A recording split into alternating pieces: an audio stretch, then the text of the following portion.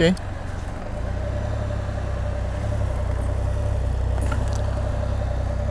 Hello, YouTubers. This is Triketacular here today. And we're out for a demo ride on a 2015 Can-Am Spyder RT model. We just had a run down at the dealership on the different controls.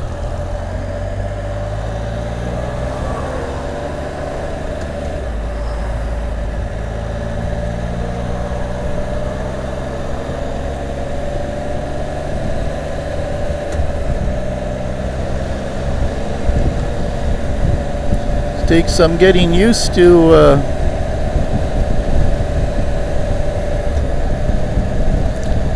There's a little toggle switch to to change the gears.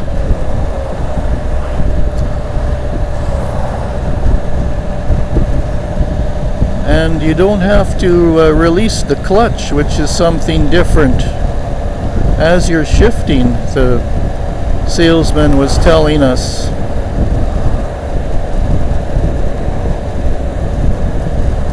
We have my co-pilot. My wife is on the back right now.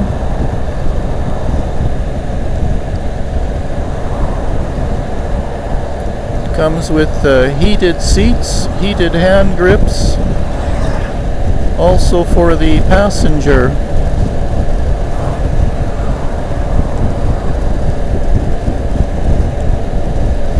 There's just one foot brake by my right foot and it's a ABS linked braking system. So on this road we're currently going around 58 to 60 kilometers an hour. That's about 40 miles an hour.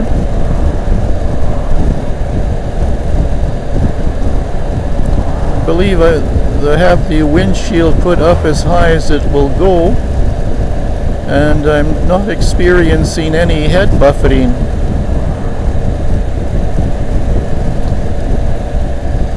Very smooth.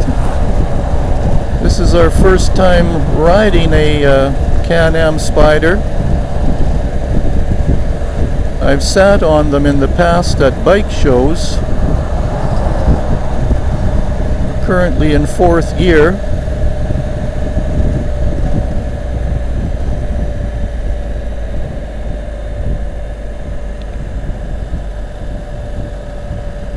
You feel a little bit of a sway as you're going around the corner.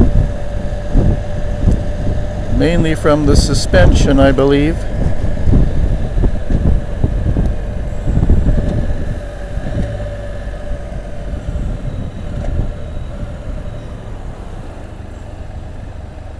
It automatically downshifts for you.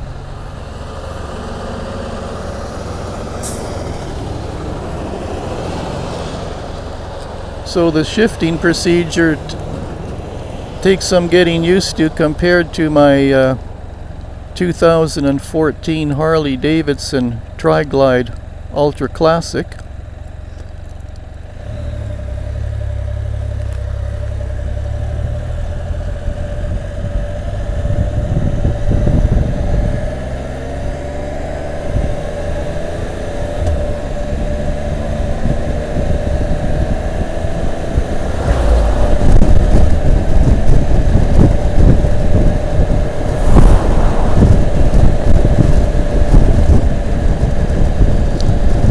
there we are. We're right up to 60 kilometers an hour, no problem. In fourth gear.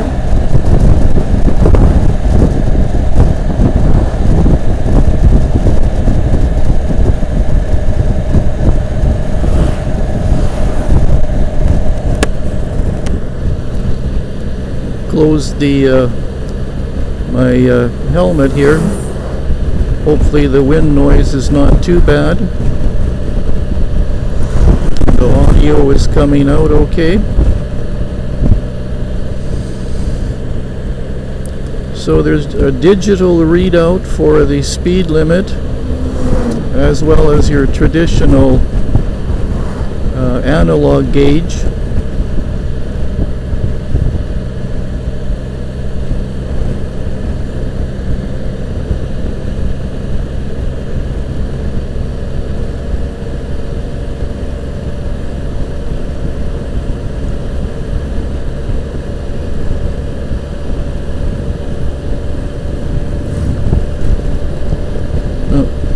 we didn't get away from the uh, fellow on the bike. I just gave him a little head nod.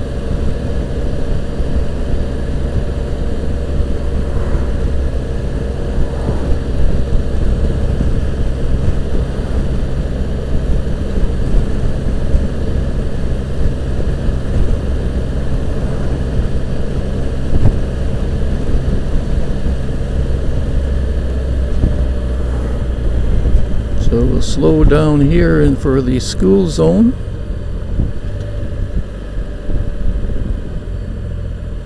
You can feel it as it shifts down. Although it just shifted down from fourth gear into third gear.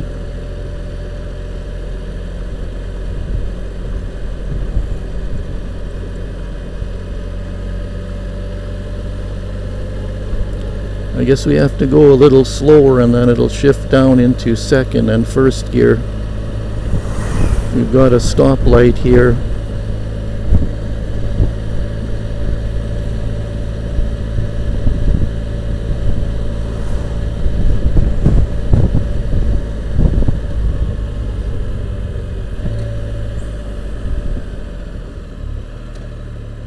Yeah, shifts down now to first gear.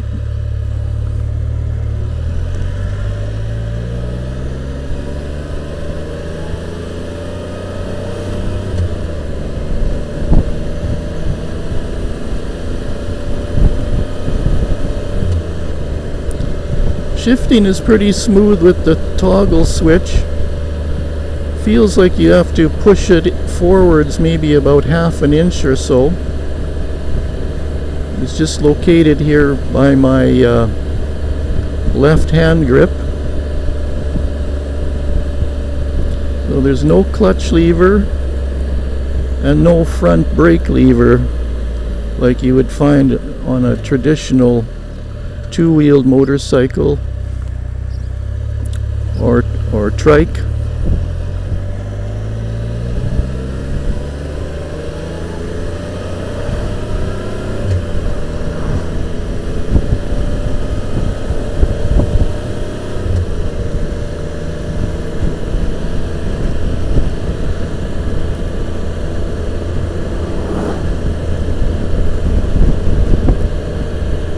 So it's a beautiful sunny day today.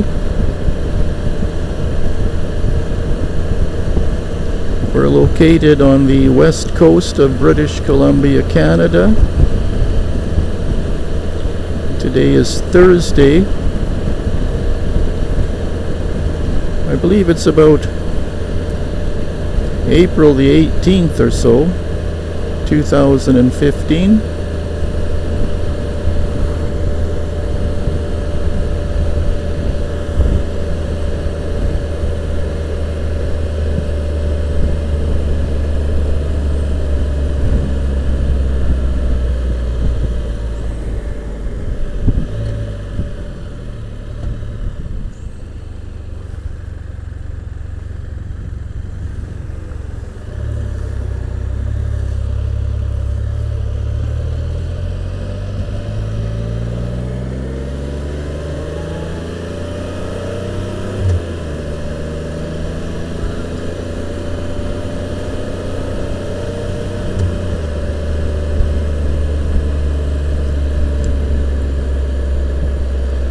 It has the uh, canceling turn signals on it.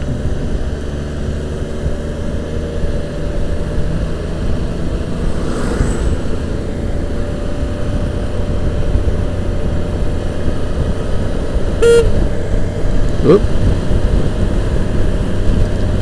hit the horn instead of the canceling turn signal.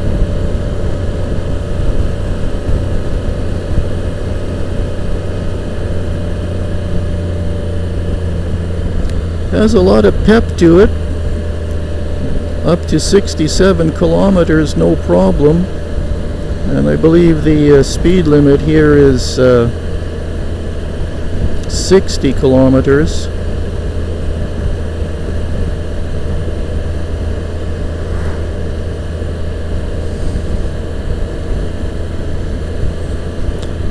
If you turn the uh, handlebars pretty quick, you do feel some swaying from the uh, um, Spyder.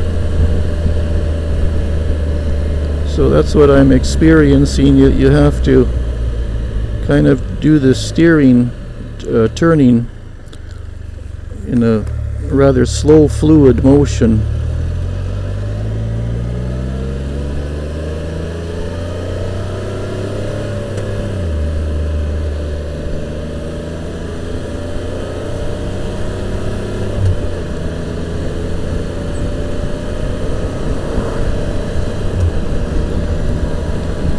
Really takes some getting used to uh, shifting without releasing the throttle. I'm so used to uh, releasing the throttle like you would do a, a traditional motorcycle or trike. And then spatial awareness comes into effect with this as well. We've got the two wider wheels in the front as compared with the trike where the wheels are in the back. So you have to think about objects on the road so you don't uh, run over them with the uh, rear wheel which is right along the middle of the chassis.